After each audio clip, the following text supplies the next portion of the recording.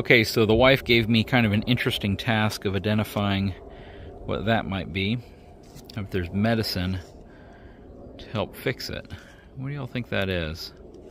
I'm gonna look it up and see if I can figure it out. Then I have one more plant I want to look at real quick. Okay, then we also have something going on right here. What do you think that is? Looks like it might be eggs.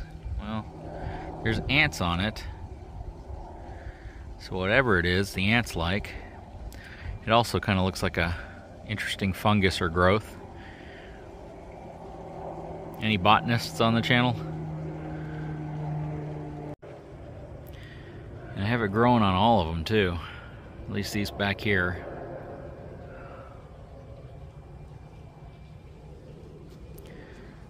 Not sure what it is though.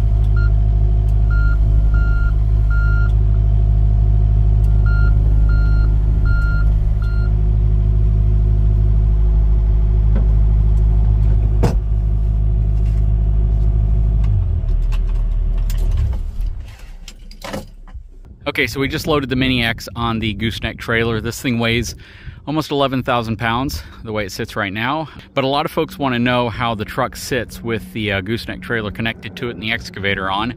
This is typically about where I put it. I could put it further towards the uh, front of the trailer, but all I'm doing is adding a lot more weight, and this is kind of centered right where I want it. I tell most people you want the majority of your weight right in this area of the trailer. That way you're transferring the right amount to the truck. But this is how the truck and trailer sits whenever they're uh, completely hooked up together. Very, very cool.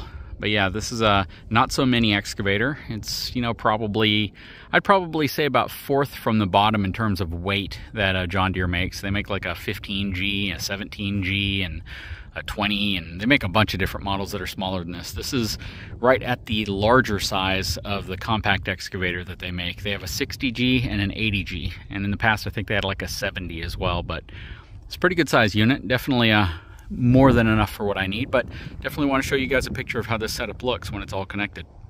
If you guys want to know the, uh, the margins you have to deal with here, this is how large this Mini X is, that there is less than an inch clearance between the track and the fender here, maybe an inch and a half for the blade. And then on this side, maybe a quarter inch clearance between the blade and the fender, and even less than that, or about the same for the tire too. So this mini excavator squeezes right onto this trailer, but just barely. You know, when we did the first video with the Kubota, uh, the excavator that we loaded on the back, even though it didn't look like it was much smaller than this, it was significantly smaller because there was probably six to eight inches worth of clearance on each side between the fenders. And even when we loaded that, uh, that really large skid steer, there was still more clearance. Okay, so we have the excavator off of the trailer. Um, the reality is I don't I don't haul it around a lot. I usually just keep it out here and use it out here because there's really no need for me to take it anywhere because I don't use it as a contractor. I'm just a homeowner with a mini excavator. But now we're on the deck of the trailer. This thing has been one really awesome trailer. We took some time cleaning the trailer off because we had some uh, strong winds that came through for a while while it was parked back there and it covered the, uh, the trailer with all sorts of brush and debris and stuff. But the project real quick today to kind of wrap things up is to kind of crush this stuff down and put some of it in the back of the trailer because we trimmed a big live oak tree over there. We took off a lot of the bottom sections of it that were reaching down to the ground and we loaded up the uh, dump trailer with it. So now we're just gonna put the rest of it in, crush it down, and uh, talk while we're doing it. Yep, I do have an alarm with engine kill on the Mini X. Okay. It's a little cool outside since the uh, first half of this video. So I'm to get things started up. Let's try to crush this down a little bit.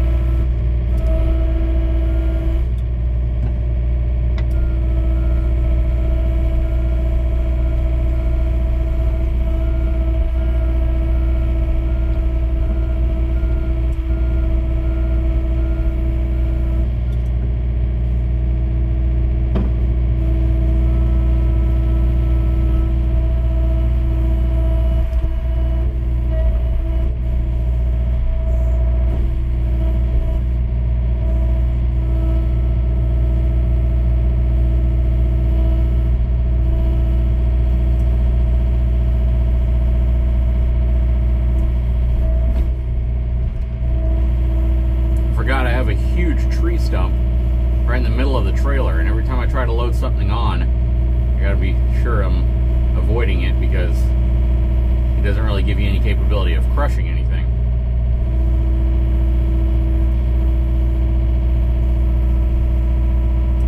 Anyways, guys, um, I've pretty much done what I tried to do here, and that was to uh, to get all this lowered down.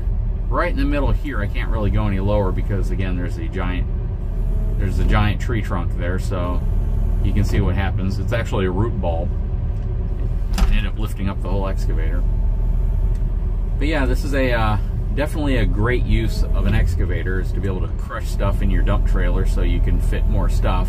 Uh, by doing this, it essentially eliminates as many trips to the dumpster or wherever I take this stuff, and I don't end up having to uh, make trips as often as I would have in the past. Um, by getting the excavator, honestly, I only probably have to make a trip to the dumpster every, maybe once a month, once or twice a month versus several times a week. Anyways, guys, I sure hope you've enjoyed this video. just wanted to show the excavator getting on the trailer, how that works and how that looks, while at the same time using the Mini X here at the property for a little bit. Guys, if you haven't had a chance, please take a moment, subscribe to the channel. Please leave those comments on both channels. That's where I uh, that's where I get those questions that I'm trying to answer on this channel. Hopefully you enjoyed the video. Anyways, guys, if you haven't had a chance, please take a moment, subscribe to the channel, give me a thumbs up, and we'll talk to you again very soon.